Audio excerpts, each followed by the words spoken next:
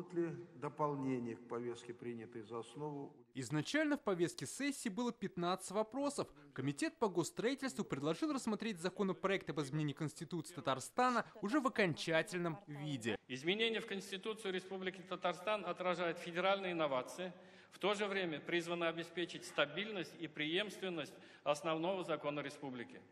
При этом программный потенциал Конституции сохраняется. Реализовываться он будет по мере адекватного развития правотворческой деятельности на всех уровнях и соблюдения конституционной законности. Предложено было изменить 6 разделов, 60 статей, добавить 2 новые и 25 упразднить. Так прокурор республики, руководители специализированных прокуратур будут назначаться после консультации с Советом Федерации. Вместо упраздненного Конституционного суда Татарстана появится положение о Конституционном Совете Республики. Также в основном законе закрепляется текст присяги высшего должностного лица. После проведения дополнительных консультаций по вопросу, связанного с наименованием высшего должностного лица, было принято решение отказаться от переходного периода и начать применять новые наименования высшего должностного лица после вступления в силу рассматриваемого сегодня проекта закона Республики Татарстан. Таким образом, после вступления в силу изменений в Конституцию, должность руководителя республики будет именоваться глава РАИС.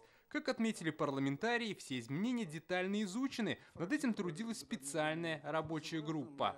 Ставлю на голосование предложение комитета прения значит, по этому вопросу, проекту закона, не открывать, значит, э, не выступать. Это труд, очень большой труд очень скрупулезно с юридической точки зрения, право, даже политический, я бы сказал, вопрос. Мы нашли взаимоприемлемое решение. В итоге парламентарии приняли документ в первом чтении, ко второму поправок не поступило, и депутаты также большинством голосов утвердили законопроект в окончательном виде. Сегодня вечером его подписал Рустам Миниханов. Документ вступит в силу через 10 дней после его официального опубликования.